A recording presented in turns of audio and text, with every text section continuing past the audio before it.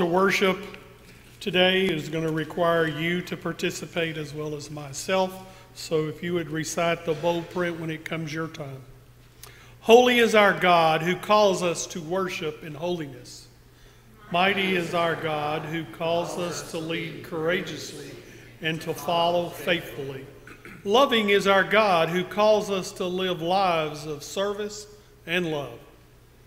Creative is our God, invites us to imagine a world where love reigns.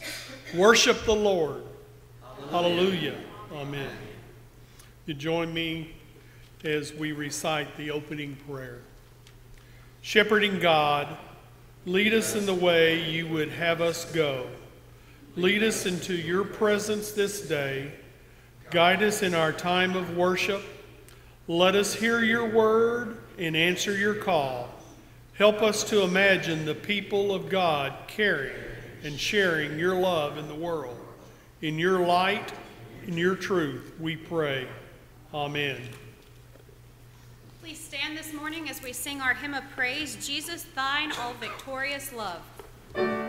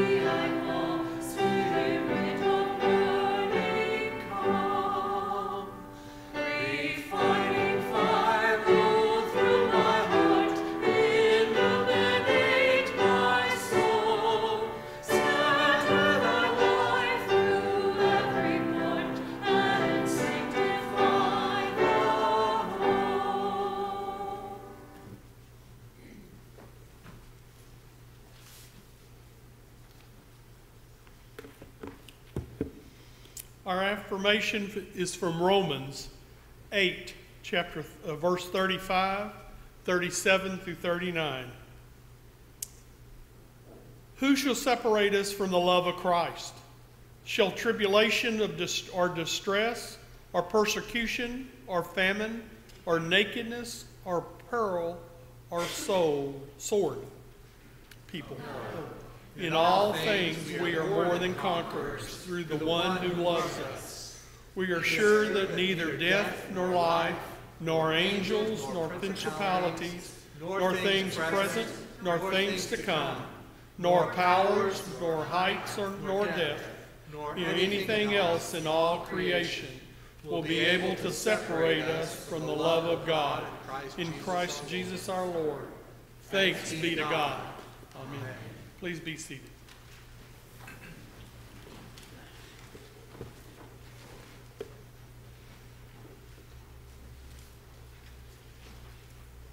Our gospel lesson this morning is from Matthew chapter 13, verses 44 through 46.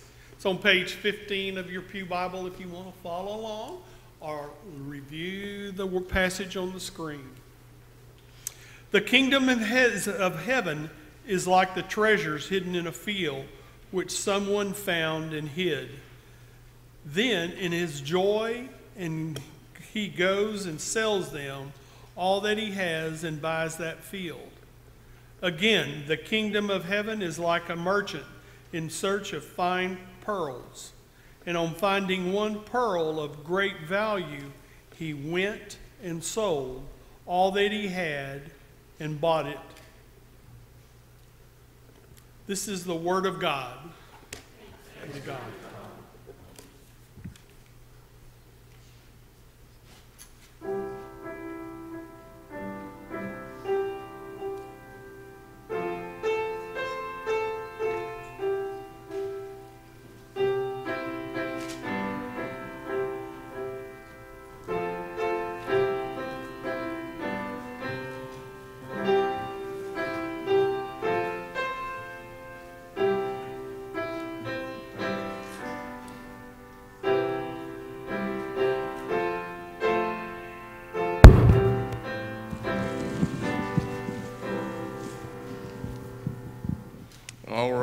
Morning, y'all. Today we are going to talk about roots. Um, there are all kinds of roots. Go ahead, Tyler.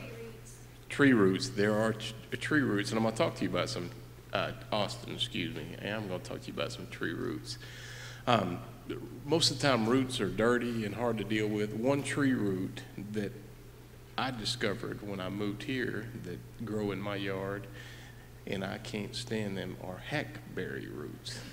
Um, I've never had to deal with them until I moved here. Um, but roots are also very important. Can you tell me why?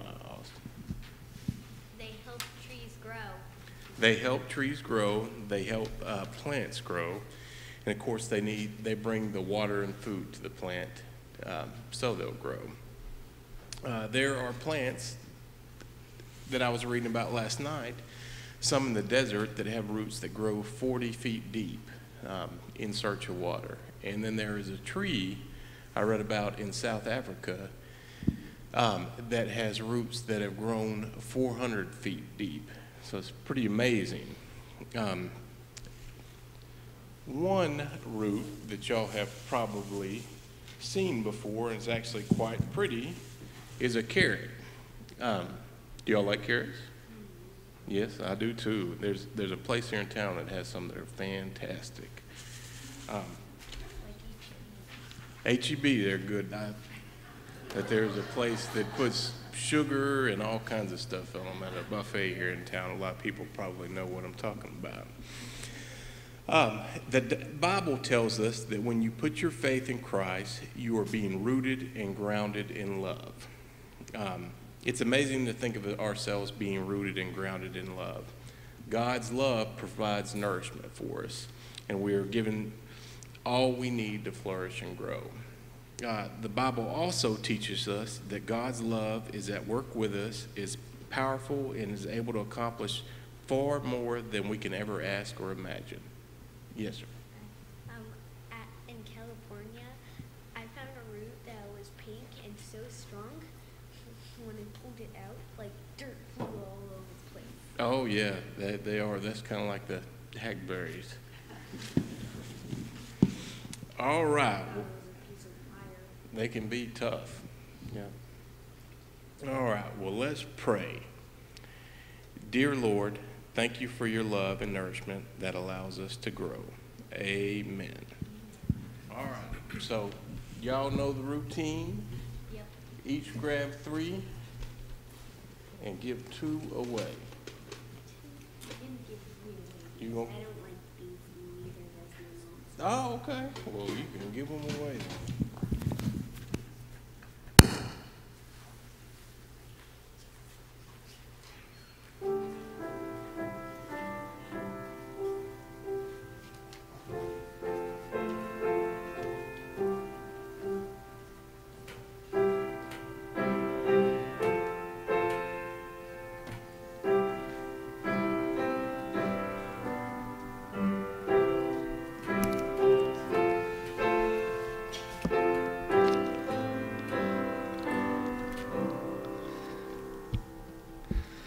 I'd like to invite you into a time of personal prayer.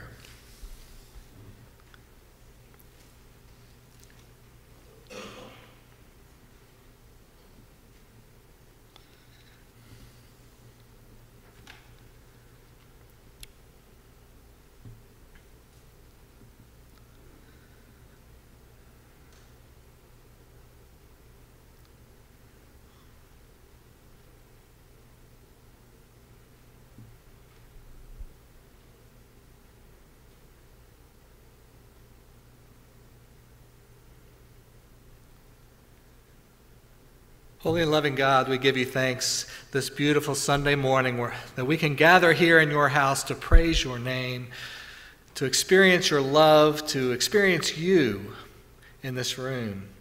We are so grateful that you have called us here today. And we pray that you will help us to hear your word, to hear your voice, to feel your touch, and to be transformed by your love. And let us be changed by what you do in us today, and let the world be transformed by what you do through us when we leave this place. We are so grateful, O oh God, for all the blessings that you have poured down upon us. We are so grateful for the freedoms we have, for the love that we share, for the opportunity to serve you in our world. Even as we praise you, O God, there are so many concerns that we have. Some are on our hearts that are unspoken. Some um, we all know about. We all, but all of them are known to you. And we are so grateful that you know our hearts and you know our deepest longings and you care for each one of us. Today we especially pray for those, those soccer players in Thailand who are trapped in the cave, and we pray for those who are who are preparing to rescue them. And we pray for the family of the man who who passed away and his attempts to help rescue them this past week. And we pray for all those victims of natural disasters around the world. We pray for the victims of human disasters as well. And we pray for the victims of violence and for the victims of war. We pray for the children who have been separated from their parents along our border. And we pray that you will help speed the return of those children to their parents and give us wisdom and grace as we seek to be people of compassion as well as people of law when we deal with people who try to come to our, our borders. Give us wisdom, O God. Give us mercy. Help us to be the people you have called us to be. We pray, O God, for the leaders of this nation for the leaders of this state, for the leaders of this community of Cleburne. We pray that you will guide them, that they will seek you, truly seek you. And remember that your guiding principle is love. Let us all obey the command to love one another. We pray these things, O God, in the name of our Lord and Savior Jesus the Christ, who taught us to pray, Our Father, who art in heaven, hallowed be thy name. Thy kingdom come, thy will be done, on earth as it is in heaven. Give us this day our daily bread, and forgive us our trespasses, as we forgive those who trespass against us. And lead us not into temptation, but deliver us from evil. For thine is the kingdom, and the power, and the glory forever. Amen. Our hymn of preparation this morning is Where the Spirit of the Lord Is, number 2119 in the Faith We Sing.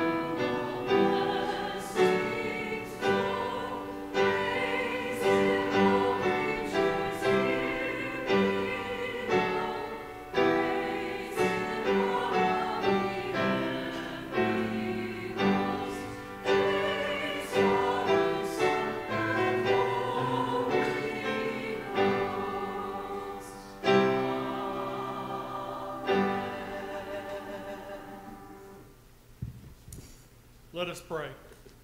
Oh God, we're thankful for you being with us in this hour of worship. We have given of our tithes and our offerings to further your kingdom in this community and the world. Be with us as we continue in our worship today in your Son's most holy name. Amen.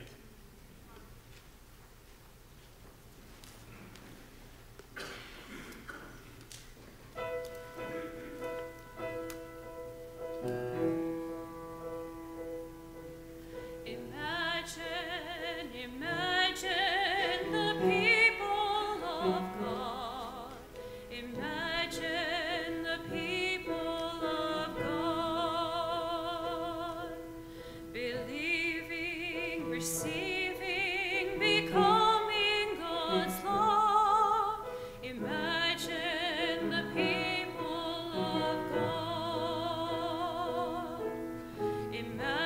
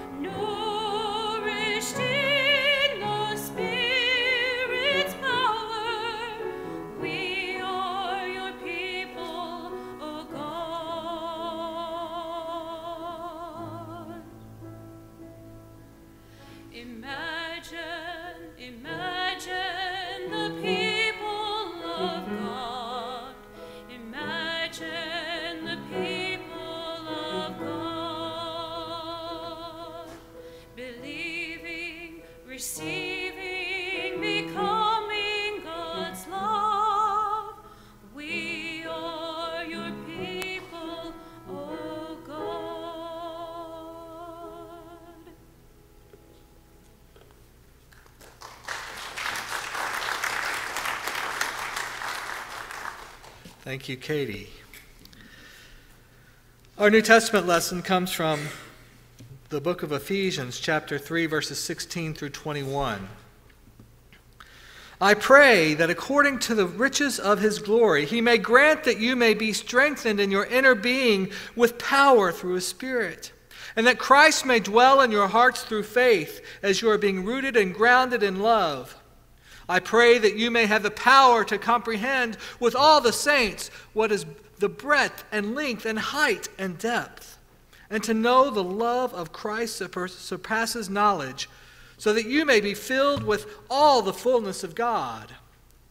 Now to him who by the power at work within us is able to accomplish abundantly far more than all we can ask or imagine to him be the glory in the church and in Christ Jesus to all generations forever and ever.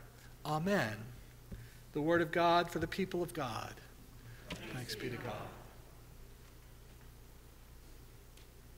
There was a, a couple on their way to, the, to, the, to a justice of the peace to get married, and they tragically died in a car accident on their way. And when they got to the pearly gates, St. Peter was there, and, and they asked St. Peter, Peter, we were just about to get married. We've been looking forward to it for so long. Is there any way that we can get married up here in heaven?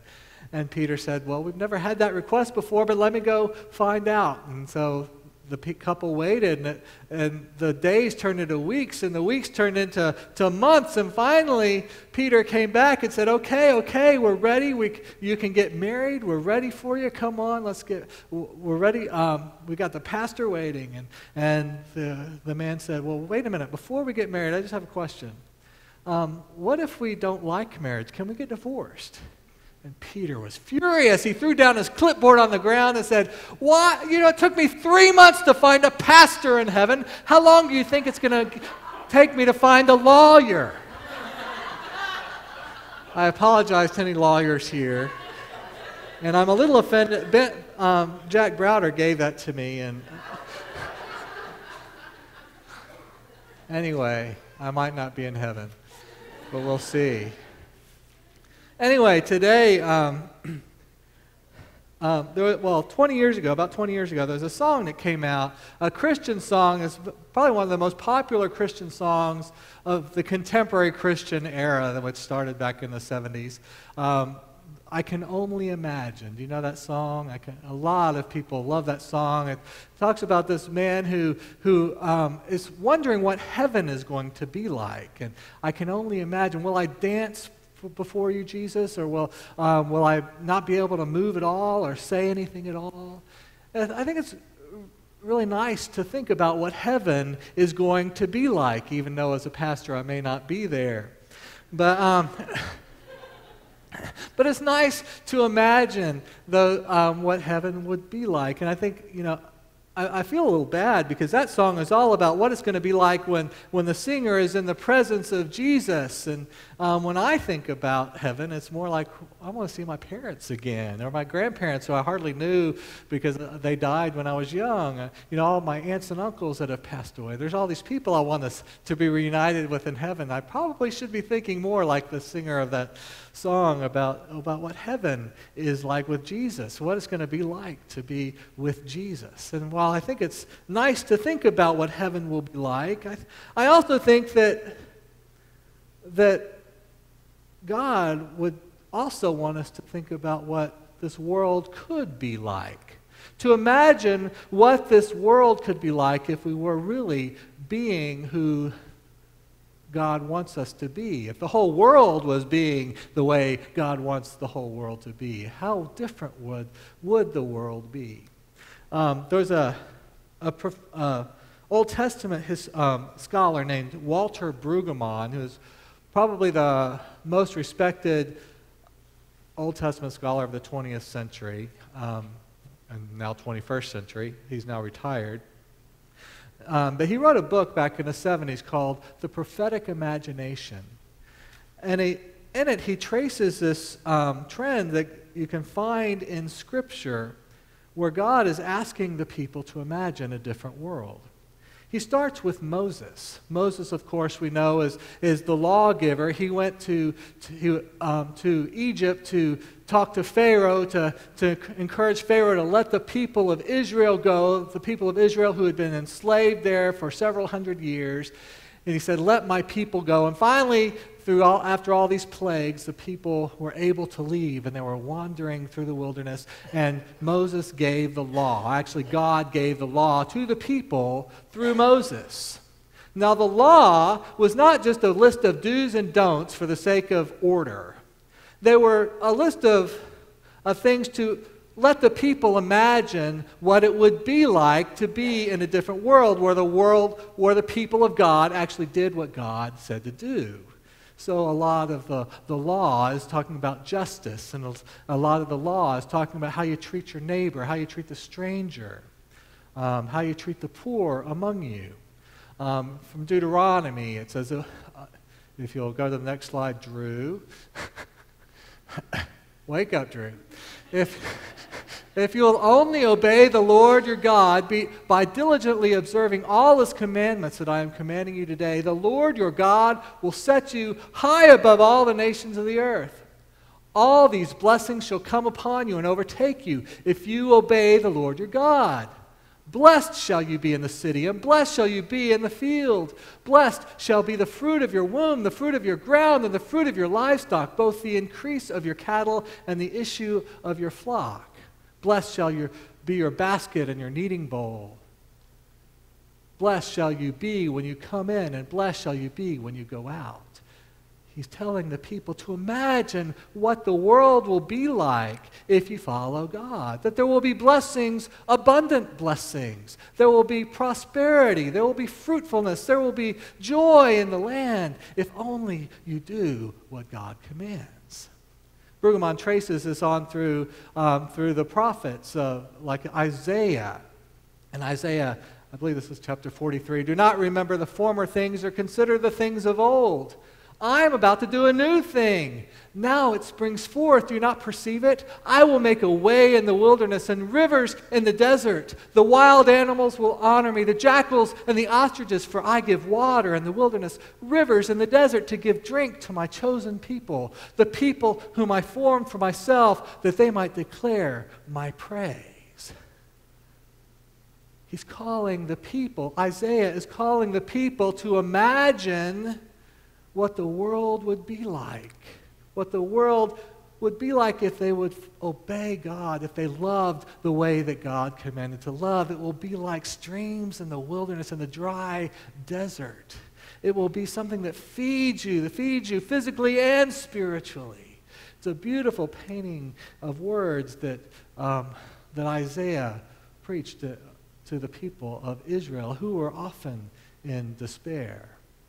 Now, Jesus did the same kind of thing. He called the people to imagine the passages that, um, that Sam read earlier. Um, he was really calling, saying, asking people to imagine the kingdom of God is like a treasure buried in a field that is so precious that you find it in the field and you go out and sell all you have so you can buy that field and have that treasure or a pearl of great price that you find in a store and you go and sell everything you have so you can go buy that pearl. That's what the kingdom. Imagine that the kingdom of God is something so precious that you would give everything you have to have it.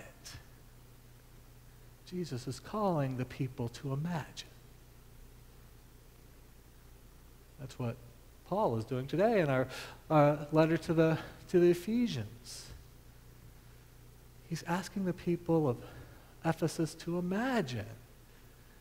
And it's not just to imagine to the best of their ability, but to understand that God has a great imagination as well. If you'll go to the next, um, go to the next slide. The next slide, Drew.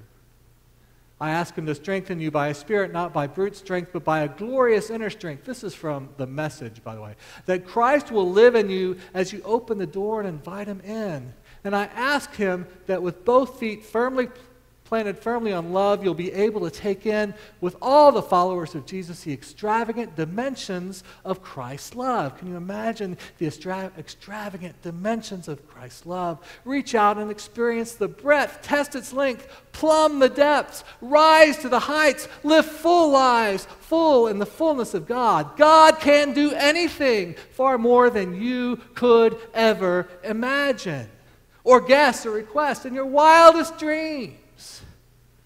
I don't think that God is asking us to imagine the world that we would like, but to imagine what the world God would like. Because I think that what we want is a lot different, probably a lot less than what God has imagined for us.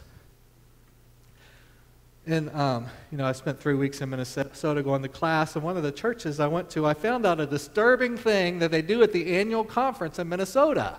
This, you never have to worry about me moving to Minnesota because they do this at their conference, and I, it scares me to death to think of having to do this. I don't know why, it shouldn't, but it does. Every year, after at the end of annual conference, they put all of the pastors' names, every pastor who was appointed that year, all the names into a bucket or a bowl or something, and they draw one name out. And the next year, that person has to preach at the next annual conference to all the pastors in the conference, all the lay people in the conference. It scares me to death to think about that. Well, the, the person they, that drew, got the lucky that got his name draw, drawn for this year was, was really good. I saw a part of his sermon. His name is Tyler Sit. He's a Asian American um, young guy from, he's started a church recently in South Minneapolis called New City United Methodist Church. And exciting things are going on in this church, and it's, it's a very good um, sermon that he gave. But he talks about the forming of this church. It's a brand new church. He was called to be a church planter. And he and seven other people were gathered in a room one night when they started thinking about what kind of church they would like to be in Minneapolis. What kind of presence of God would they like to, to create? Or what, what, what do they believe God would try to create through them in Minneapolis? And, and so he asked the question what would be, what would Minneapolis be if its only guiding principle was love? Not economics or not anything else, but love. How would Minneapolis look if it was run entirely based on love? And one person said, well, it would be a place where everyone of all economic, economic levels would feel safe because there are places in Minneapolis that people don't feel safe. Another one said, I envision all the leaders of the gangs, the violent gangs here in Minneapolis, that they would use those leadership skills in ministry instead of in violent ways. And another one said, What if, what, what if it's like um, Revelation 21, where, where the New Jerusalem, what if Minneapolis was like the New Jerusalem descending from heaven? And everyone was welcome. And there was no more violence, and the earth was restored. It was out of this dream, out of this imagining that New City Church was, was formed and they're doing wonderful work. I mean, they're, they're already, I think they opened in 2017, and they're already worshiping a couple of hundred every Sunday morning. Don't, don't even have their own space yet. They're meeting in another church. I wonder if we imagined how God would want Cleburne to be, or even just St. Mark. What if love was the guiding principle of Cleburne? What if love was truly the guiding principle of St. Mark? How would the church be different? How would the world be different because the church is different? What can we imagine that God would do? Knowing that God can do anything greater than anything we imagine. Who is it outside of these walls that we would welcome here? There are people hungry. I imagine us welcoming everyone here and introducing people to Jesus Christ and a relationship that people come into a relationship with us and with God and that lives be transformed and, and that people are fed and that people's lives are turned around and people are set free from addiction and people learn to love others who have a different colored skin or speak a different language or from a different country. That Jesus Christ is praised and that the Word becomes flesh and all of the people here so that the world outside these walls will be transformed. You know, that's my imagination, but God's imagination is much better than that. The next three weeks, we're going to be talking about, based on the song that Katie just sang, Imagine the People of God. What does the people of God look like? Imagine what the people of God should be like in the world. Imagine what the world would be if all of the people, not just St. Mark, but every Christian, every church in Cleburne, if everyone was truly living out the gospel message to love God and to love one another how would this world be different if our guiding principle was love? Amen.